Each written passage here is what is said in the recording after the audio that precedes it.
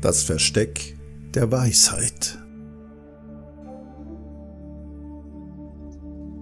Vor langer Zeit überlegten die Götter, dass es sehr schlecht wäre, wenn die Menschen die Weisheit des Universums finden würden, bevor sie tatsächlich reif genug dafür wären.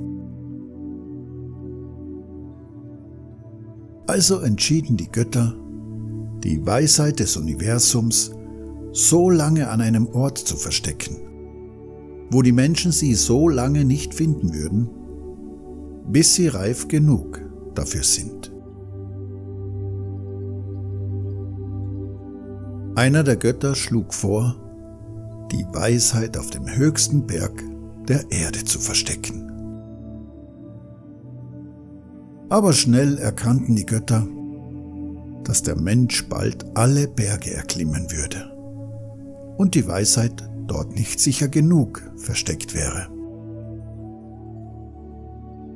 Ein anderer schlug vor, die Weisheit an der tiefsten Stelle im Meer zu verstecken.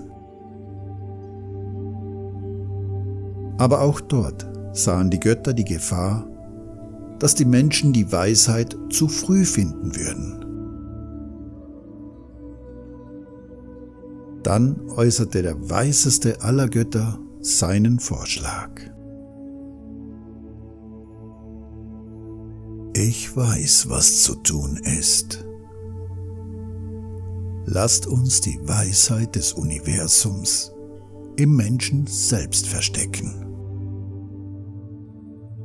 Er wird dort erst dann danach suchen, wenn er reif genug ist.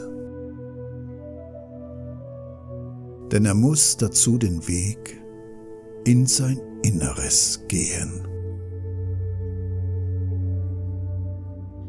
Die anderen Götter waren von diesem Vorschlag begeistert.